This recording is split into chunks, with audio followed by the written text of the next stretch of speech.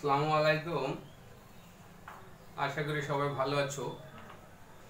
Class দশম শ্রেণির ছাত্রছাত্রীদের কিছু গ্রামারের মানে কোয়েশ্চেন আজকের ভিডিওতে উপস্থিত হয়েছি।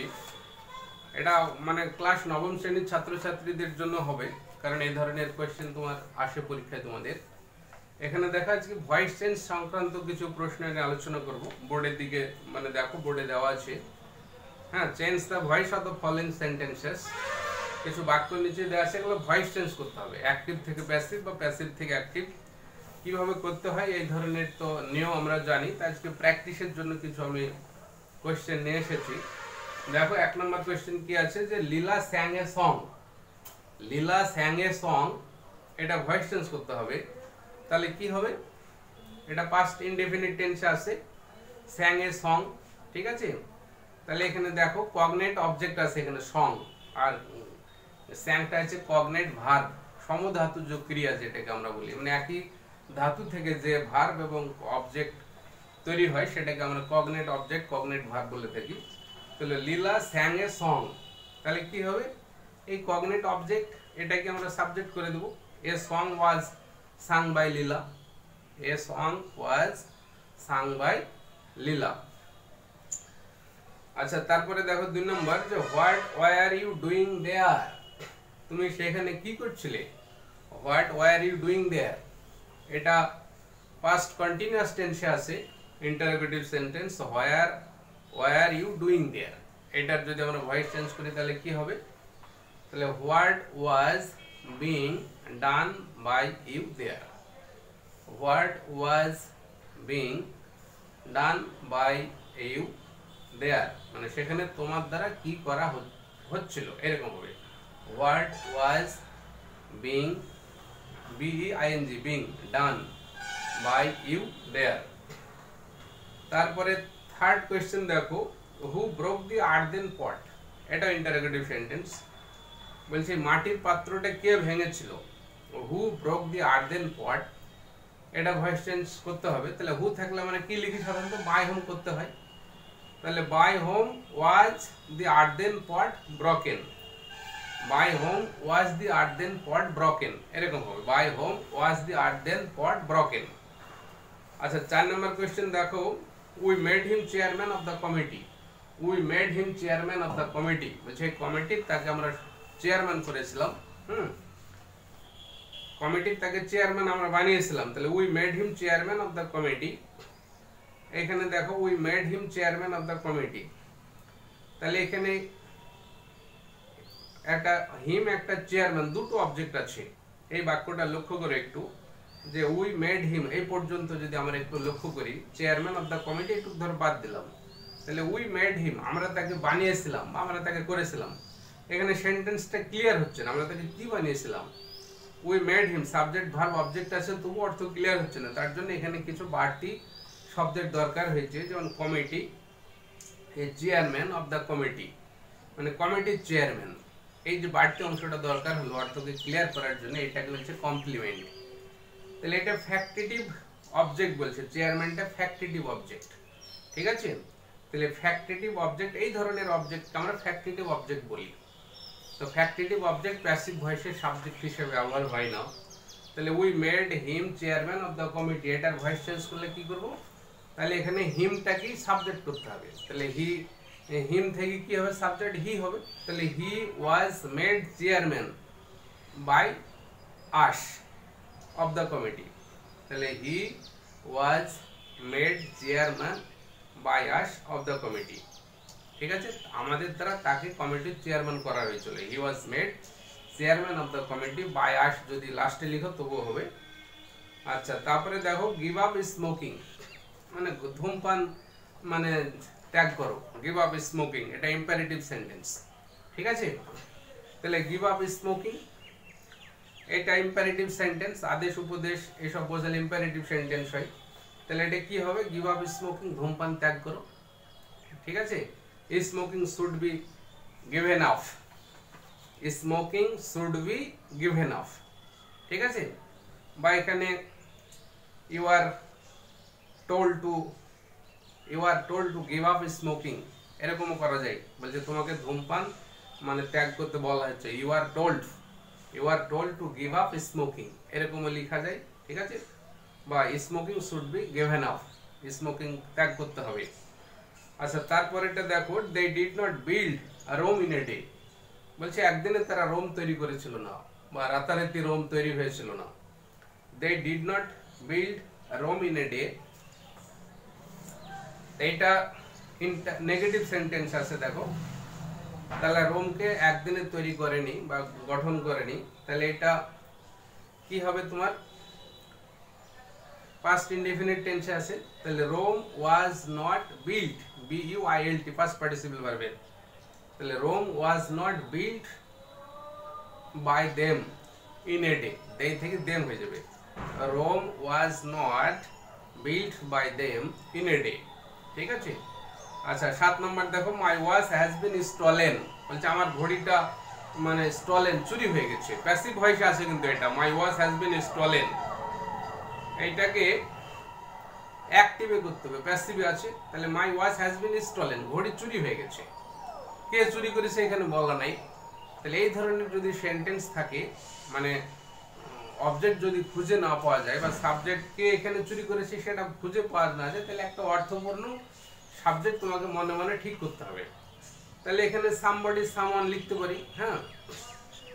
তাহলে এখানে they my my watch has been stolen দেখো my watch has been stolen তাহলে somebody has stolen my watch someone has stolen my watch বলছে, কেউ একজন আমার ঘড়ি চুরি করেছে প্রেজেন্ট পারফেক্ট টেন্সে আছে অ্যাক্টিভও হয়ে গেল।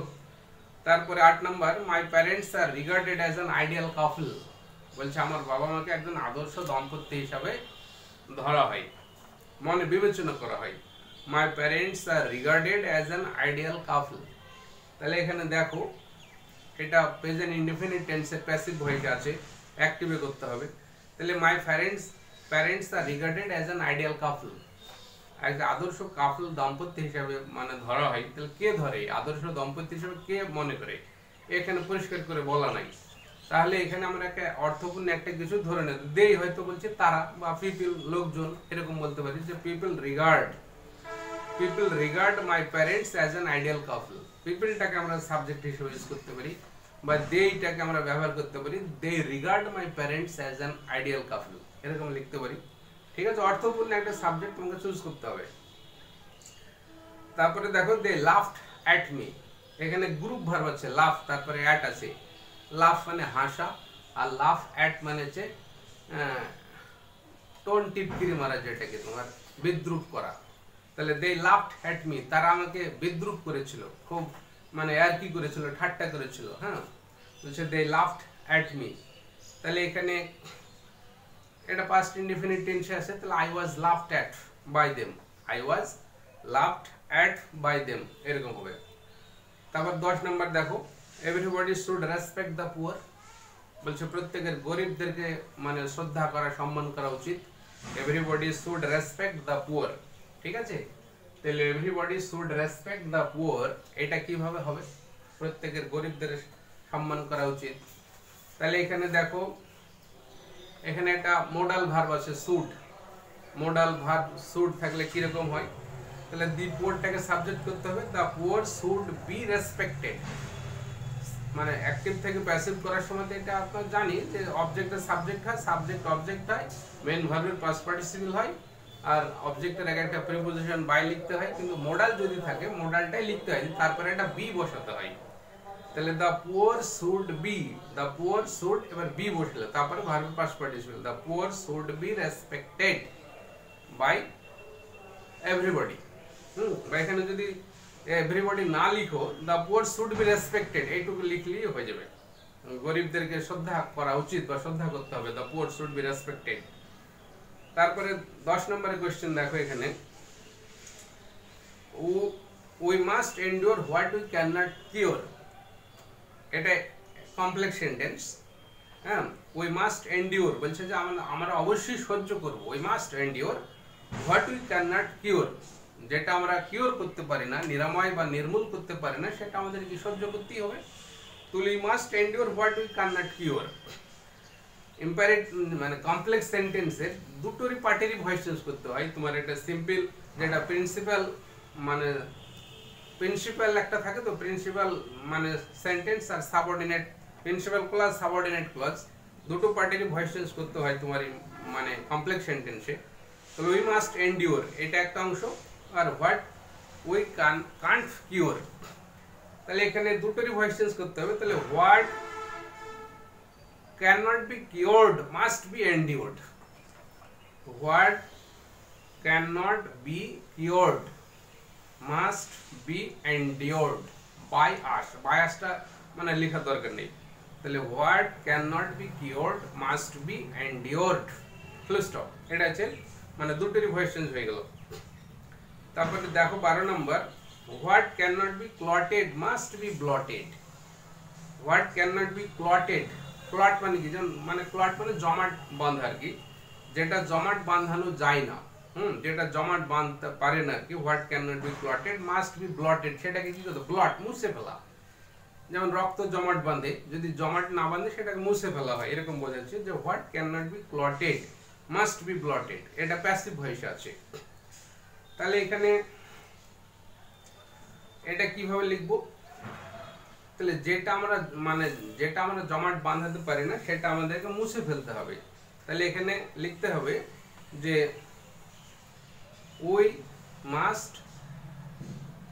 blot what we can not clot we must blot what we can not clot ঠিক আছে? We must blot what we can not clot এরকম হবে। আচ্ছা তারপরে দেখো we must know what we do not know যেটা আমরা জানি না, সেটা আমরা অবশ্যই জানব। যেটা জানা নাই, সেটা অবশ্যই জানব। এটা complex sentence we must know what we do not know তাহলে এখানে কি করতে হবে? What is not known to us what is not known to us what we do not know এইটুকুর আগে ভয়েস চেঞ্জ করতে হবে যে what is not known to us must be known must be known তাহলে what is not known to us must be known যেটা আমাদের অজানা, সেটা অবশ্যই জানতে হবে। আচ্ছা দ্য বেড ফিল সফট এই বিছানাটা নরম। দ্য বেড ফিল সফট এটা দেখো, এটা কোয়াসি প্যাসিভ এখানে দি বেড সাবজেক্ট ফিলস একটা ভার্ব তারপরে সফট এটা অ্যাডজেক্টিভ এই ধরনের মানে সেন্টেন্সের ভয়েস চেঞ্জ করা এমনি জেনারেলি হয় না তোমার। হ্যাঁ যেমন দ্য স্কাই ইজ ব্লু আকাশ নীল হ্যাঁ। দ্য হানি ইজ সুইট মধু মিষ্টি। এই ধরনের সেন্টেন্সের ভয়েস চেঞ্জ করার সময়তে দেখা যায়, এটা কোয়াসি প্যাসিভ বলা হয় মানে আধা প্যাসিভ আর কি। হুম। তাহলে এটাকে আমরা the bed fills the the bed is soft এখানে ভয়েস চেঞ্জ করতে হবে the bed is soft when it is felt যখন এটাকে অনুভব করা হয়, বিছানায় শুয়ে যখন অনুভব করা হয়, তখনই তো এটা নরম মনে হবে। যেমন হচ্ছে দ্য হানি টেস্ট সুইট মধু মিষ্টি। The honey is sweet when it is tasted honey is sweet when someone taste it এরকম হয়।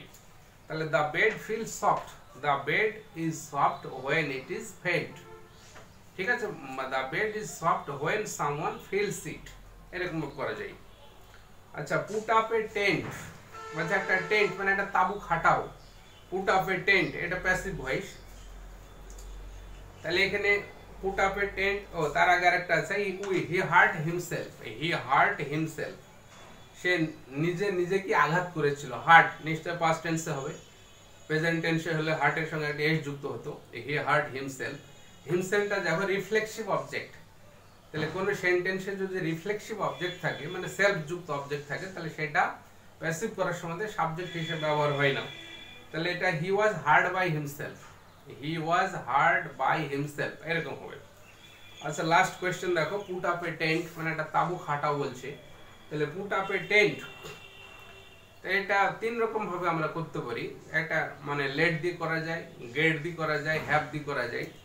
তাহলে আমরা যদি জেনারেলি লেট দিয়ে যদি করি let a tent be put up let a tent be put up এরকম হবে। একটা মানে তাবু খাটানো হোক। এর আরও উত্তম হচ্ছে তোমার have a tent put up have a tent put up হ্যাভটা হচ্ছে তোমার পজিটিভ ভার্ব হুম, এটা তাবু খাটানো হোক। Have a tent put up এখানে বি হবে না কিন্তু have a tent put up পুটটা পুটটা আছে ভার্বের থার্ড ফর্ম হচ্ছে, বা এখানে get a tent put up get a tent put up এরকম করা যায়। তাহলে এইভাবে আমরা ভয়েস চেঞ্জ রিলেটেড কোয়েশ্চেন থাকলে সেটা মানে সঠিকভাবে করার চেষ্টা করব। ভিডিওটা তারা প্রথম থেকে মনোযোগ দিয়ে দেখবে এবং এগুলোকে বোঝার চেষ্টা করবে ভালো করে। হুম। আজকের আলোচনা এখানেই শেষ করছি। সবাই ভালো থেকো। আসসালামু আলাইকুম।